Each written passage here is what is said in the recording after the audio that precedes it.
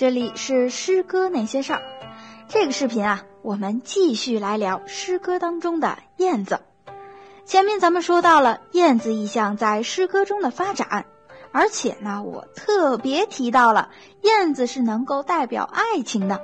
所以啊，这个视频咱就从情之一字开始说起。这古时候啊，有些互相爱慕之人，他们因为种种原因分隔在了两地。所谓睹物思人，有情人看见燕子，会联想起在远方的恋人，那此时的燕子就变成了相思的代表。比如说北宋的晏几道，此人啊是多情种子，喜欢美丽的女性，他就曾经爱上了一位歌女小平。可因为身份地位之间有差距，两个人啊，最终被迫还是要分开。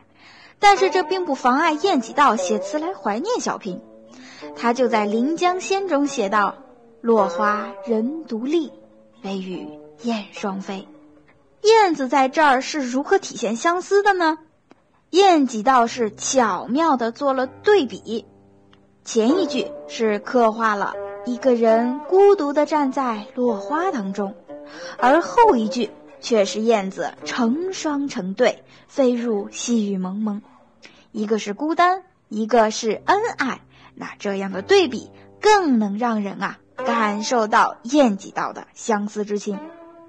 我们说燕子能帮诗人表达对爱人的思念，而对于那些出门在外的游子们，看到燕子啊。也会升起思念，这个时候就是对家乡的思念了。诗人王岩啊，喜欢浪迹天涯，他曾经写过：“雨是东风，谁家燕子穿庭户？家何处？乱山无数，不记来时路。”这燕子穿庭户啊，是乡村当中常见的景象，而王岩在异乡见到此景。不由得就会想起自己的家乡。然而时过境迁，离家已久，他已经不记来时路了。我们看，燕子在这里啊，便是代表了王岩对于家乡的一份美好的回忆。那我们前面是说的燕子象征对家乡的思念，那我们再把家乡升格为国家，那燕子又成了。家国兴亡的感慨对象，刘禹锡就在他的《乌衣巷》中这么写：“朱雀桥边野草花，乌衣巷口夕阳斜。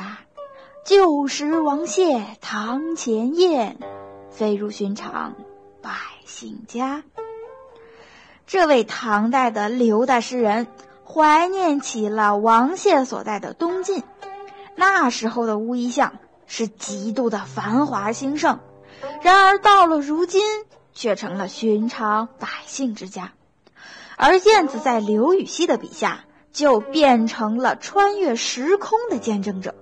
那这重身份啊，也是给燕子一项开拓出了全新的视角。那到这里，诗歌中的燕子意象我就讲完了。在这个视频里啊，我从情之一字开始说起。那对于那些相隔两地的有情人，燕子会勾起他们的相思；而对于出门在外的游子啊，燕子是能让他们想起家乡的。如果我们把家乡再升格为国家，燕子也能做穿越时空的见证者，目睹国家的盛衰兴亡。诗歌那些事儿，带你了解诗歌的世界。下个视频啊，咱接着聊。